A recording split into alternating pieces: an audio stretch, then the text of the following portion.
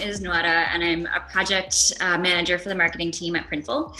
Um, I've been part of the Printful team for about five years now. Um, I've been working on all sorts of projects over this time, and for the past couple of months, I've been a part of the um, you know our COVID nineteen communications response team, um, and that's what I'm going to talk to you guys about today. So, uh, we're living through some unprecedented times, and it can be scary for business owners to, to figure out how to navigate that and how to address your customers during this time. And it has definitely been also a learning experience for Printful. So I'm going to share with you guys today five main lessons um, that we've learned over the course of, of COVID 19 and how we've communicated. So, um, diving in, uh, coming up first is don't be afraid to over communicate. Uh, you know, we're living through some scary times right now. So you can use communication as a way to kind of create a sense of security for your customers. Uh, let them know that you're still open for business, give them any updates that they should know. Um, and generally, during times of crisis, it's better to, to over communicate than to under communicate. So, um, the way Printful, how we came upon this lesson is that um, early on during the COVID 19 pandemic, um, you know, maybe early March when we started to feel the impact and we were starting to figure out what to do about it. Um, we decided that we did not want to send a lot of emails in the very beginning because things were changing every day and we didn't want to spam our customers with daily updates. So instead, we decided that our strategy would be to publish a public FAQ page and then rely heavily on our internal channels to share that with our customers. So we posted it throughout um, the Printful dashboard, we shared it on social media in our Facebook group, um, Printful Insiders, um, and every time there was a new post, then we would share it, you know, mostly internally. Um, so after a few weeks had gone by and things were starting to become a little bit more, you know, clear and more stable what was happening, um, we still noticed that we had a lot of the same trending customer questions. So at that moment, we thought, okay, you know, maybe now would be a good time to send, a, you know, a bigger, a more mass kind of um, update email to explain the current situation and what was going on. So um, we did that. Uh, here's a, a, little bit of that email we sent. Um, basically, we talked about um, what our customers should expect. We addressed fulfillment times, how they were longer. We talked about what we were doing at our fulfillment centers, um, how we were sh- handling shelter in place laws, um, the social distancing measures we were implementing, and what we were doing to tackle some of the challenges that we were seeing. Um, and the, the feedback we got from customers was generally very positive. Um, a lot of our customers reached out and they were glad that we had emailed them. Um, they were surprised that they didn't receive more emails from us. and others even wrote that they weren't aware aware of some of the information that was in that email, even though it was publicly available on our site at the time. So um, while I do think it was the right call to, you know, maybe go easy on the emails in the beginning, um, you know, I do think this was a learning opportunity for us, um, and we understood that okay, like we probably could have communicated, um, you know, sent this email a little bit sooner than we did. Um, so um, you know communicate with your customers tell them what's going on assure them that you know things are still happening with your business. So you can communicate you know via email um, whether it's sending out a dedicated campaign with a bigger update um, or if you're sending out other you know newsletters maybe transactional emails um, then you can include um, and i'm going back to the last slide um, but you can see we have a blue banner at the top of that email. Um, that's a banner that we include in almost all of our emails so that whatever we send, um, customers do get access to our COVID-19 info page. So that's something you can also, um, you know, include in some of your transactional or newsletter emails. Um, communicate any updates on social media, wherever your, your you know, audience is most engaged, wherever you're most present. Um, you can also pin posts on some of your social media profiles so that information is always there for your customers to access.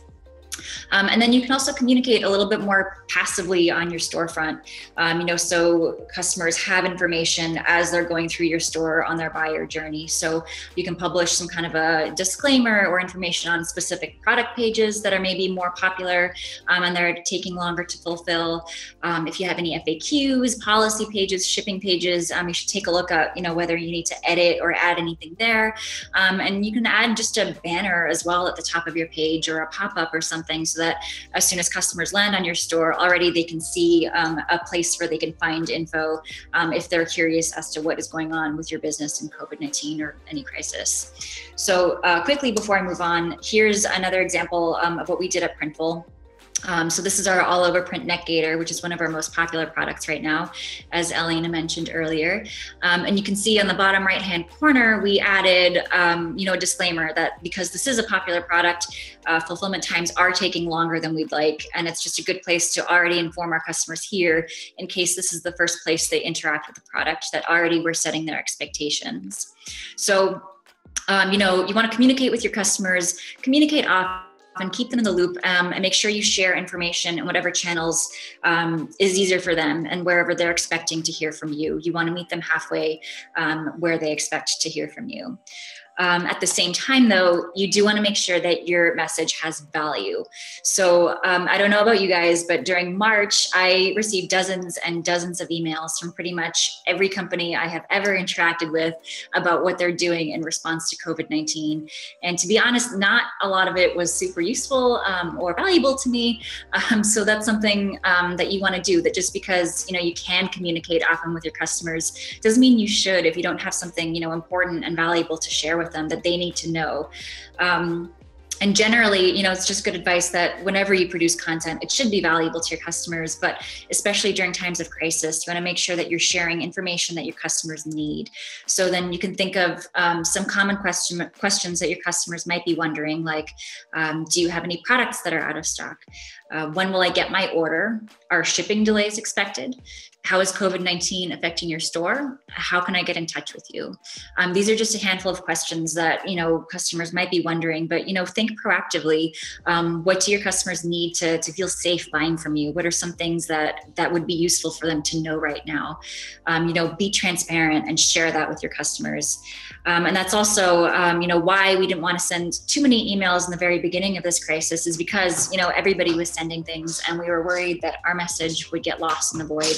So, you know, we waited a little bit until we had something substantial to say. Um, so another example of what we did, um, we realized that we were publishing a lot of content that was helpful for our customers and informative for our customers.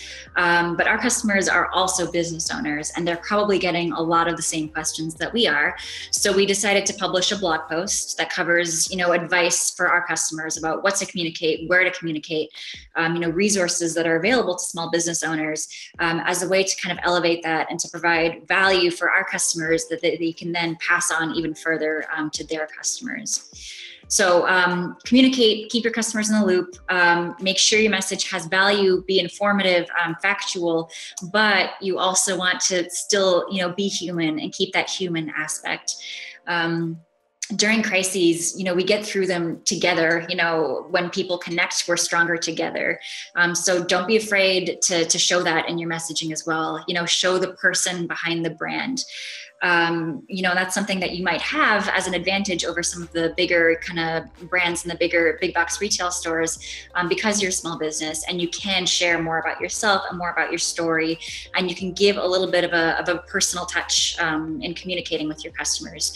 You can let them know that you appreciate their business um, because at the end of the day you are also a person. You're a person behind that brand running your business and you're doing your best to, to keep things running and to keep orders going out and to keep your customers happy um, generally, especially now, um, you know, during COVID-19, people are a little bit more patient than usual because um, COVID-19 is affecting every aspect of life um, and industry-wide, you know, across e-commerce and retail, everything is slowing down. So people kind of understand that this is just the way things are right now.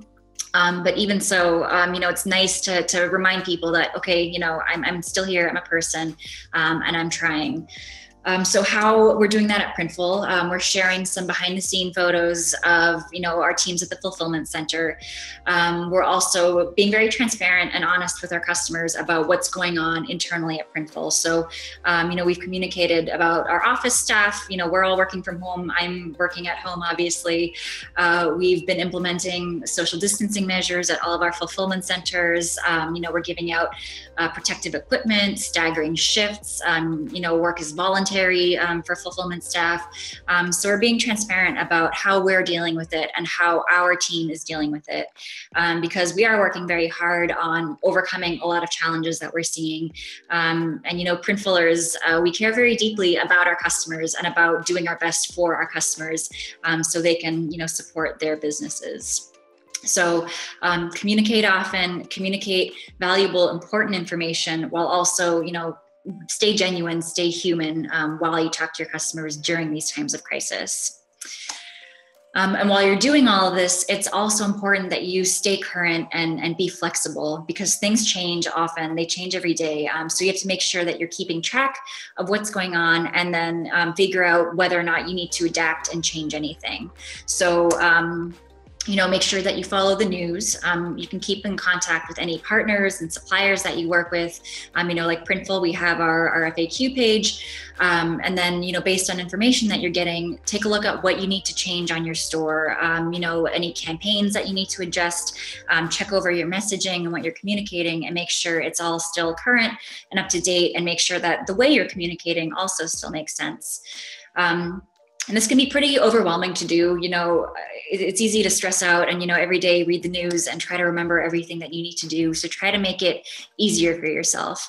Um, you know we recommend um, you know kind of making this part of your routine and scheduling maybe a couple days a week um, and creating a list for yourself um, and keep track of okay your different suppliers maybe different news sources that you want to check out on um, and then review your your content and make sure that okay is anything now um, out of date? Do we need to update anything so at Printful, um, this is one of the ways that we've had to pivot.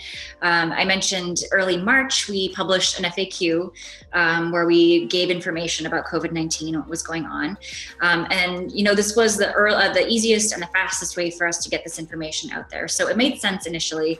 Um, and it was just a basically textual kind of piece of content. And then with every update, it would be like a newsfeed style, or with every update, we would post it and add that day's date. So then you could scroll and then, um, you know, read back um, about all the previous um, updates. Um, this worked for a while because again, it was easy, it was fast. But then, you know, as the more weeks went by, the more updates we had to post, um, it just turned into a really long block of text, and we understood that this isn't this isn't efficient anymore, um, especially for new customers who may be just signing up and they want to understand what's happening with Printful and COVID nineteen. Um, you know, they have to get through this giant essay to to understand a basic summary. So uh, we put in the time and the resources, and we put together this um, dedicated COVID 19 landing page. So it's a lot easier to, to kind of skim and to understand what's happening. There's a section in the beginning that goes over a summary with the latest updates. Um, you know, there's a table with our current estimated fulfillment times, and then there's you know sections below that with specific categories and questions, um, so that after you've read a summary, you can go to what interests you specifically. Um, and this is easier for us to maintain as well. Um, you know, like we also have a schedule where every other day we look at, um, you know, what are the latest fulfillment estimates that we update? Are there any new trending questions from customers that we're noticing that we need to update?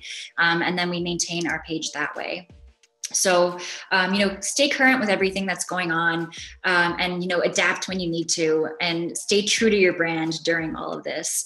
So not everything that you publish has to tie back to covid-19 um, it's okay to return to your regularly program schedule uh, scheduled programming um, but just be sensitive to what's going on. So right now probably isn't the time to promote you know your top 10 cute summer festival looks because summer festivals are canceled.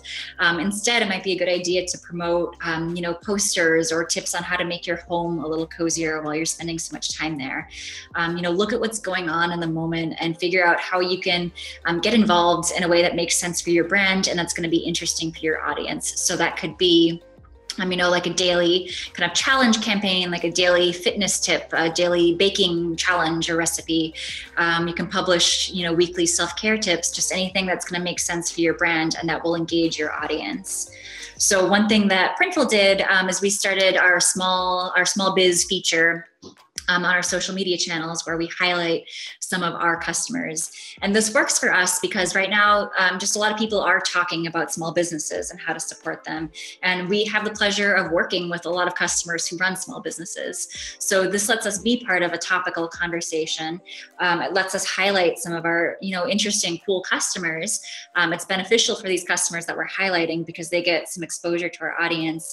And it's also inspirational for all of our other customers. You know, if you're just starting out, it's nice to see these examples of what other stores are doing. You know, it gives you something to aspire to, um, and it kind of motivates you to get to where these other businesses are.